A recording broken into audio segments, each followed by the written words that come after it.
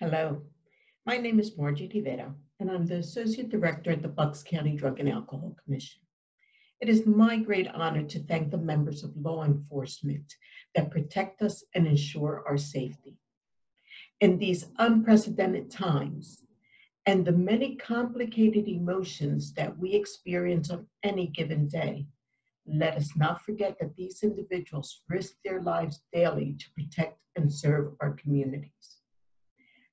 Each and every one of you, from our district attorney to the many personnel within law enforcement, especially our brave officers, we say thank you for your service, your sacrifices, your courage, your honesty, and your community support.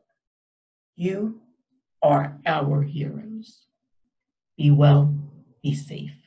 Thank you.